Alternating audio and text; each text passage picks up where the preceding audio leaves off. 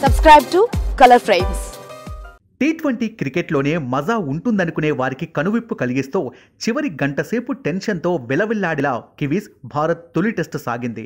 తొంభై నాలుగు ఓవర్లకు Kiwis score తొమ్మిది వికెట్ల నష్టానికి నూట అరవై ఒక్క పరుగులు చేసింది.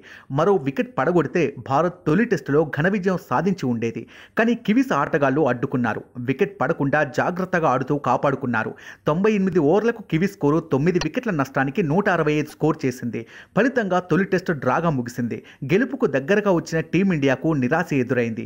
అయితే ఈ క్రెడిట్ మొత్తం కివీస్ బ్యాటర్లు రచిన్ రవీంద్ర అజాజ్ పటేల్కే దక్కుతుంది.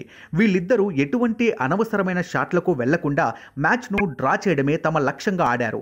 రవీంద్ర తొంభై బంతుల్లో పద్దెనిమిది పరుగులతో నాటౌట్గా నిలవగా అజాజ్ పటేల్ ఇరవై మూడు బంతుల్లో రెండు పరుగులతో నిలిచాడు.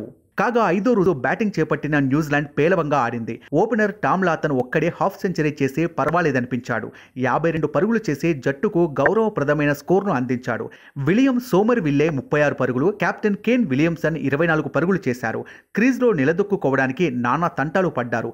వీరు మినహాయించి మిగతా వారు ఎవ్వరూ పెద్దగా రాణించలేదు. ఇక భారత బౌలర్లు ఆది నుంచే తమ ప్రతాపం చూపించారు. ఓవర్లు మెయిడిన్ చేస్తూ పరుగులు రాకుండా కట్టడి చేశారు. వరుసగా వికెట్లు సాధించారు. రవిచంద్రన అశ్విన్ మూడు వికెట్లు రవీంద్ర జడేజా నాలుగు వికెట్లు అక్షర్ పటేల్ ఒక వికెట్ ఉమేష్ యాదవ్ ఒక వికెట్ సాధించారు please subscribe Color Frames Color ఫ్రేమ్స్కి subscribe చేయండి Subscribe to Color Frames. Please subscribe to Color Frames.